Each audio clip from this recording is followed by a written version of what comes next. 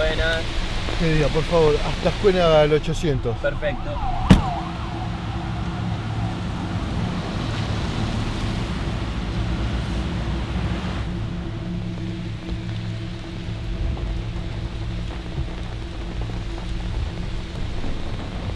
¿Anda leyendo, maestro? Sí, sí, una cosa rara. Me lo encontré arriba del colectivo. No había nadie que pareciera ser el dueño, así que empecé a leerlo, empecé a hojearlo y, cada palabra me siento, me siento identificado. Es como que me, me está hablando a mí. No sé si es una. La verdad que no sé si es una cosa mía o, o- o yo estoy loco, vaya uno a saber. Sí, es normal. A mí nunca me pasó, pero tengo amigos a los que les pasa. Como que leen un libro y se sienten identificados. No sé, los ayuda a pensar, a reflexionar. No, no, no, pero esta vez es distinto. Son, son cosas que yo viví. O sea, hay cosas reales de mi vida que me pasaron a mí, palabra por palabra. Es como si lo hubiese escrito yo, ¿me entiende? ¿Y no lo habrá escrito usted y se olvidó? No, ¿y ¿por qué voy a olvidarme? ¿Alcohol? No, no, yo no tomo tanto. Yo sí, y puedo garantizarle que uno puede olvidarse lo que sea. Yo mismo me olvidé mi fecha de nacimiento.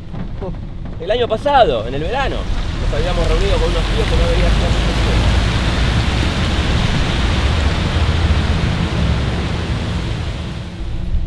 ¿Dónde lo dejo más o menos? Y a- atrás de ese coche blanco está bien. ¿Cómo no? ¿Cuánto le debo?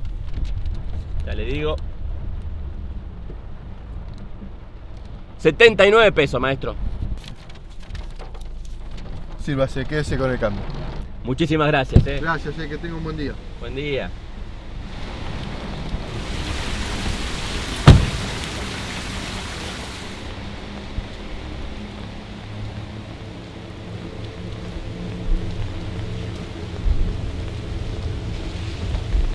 ¡Hey!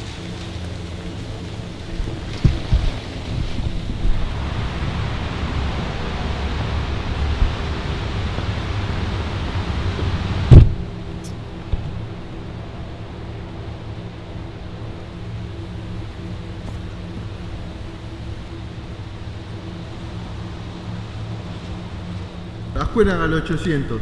dijo el hombre. Al principio no parecía de mucho hablar, pero el viaje resultó entretenido. Dijo algo de un libro raro que estaba leyendo, pero terminamos hablando de cualquier otra cosa. Llegamos a destino, pagó rápido y se bajó.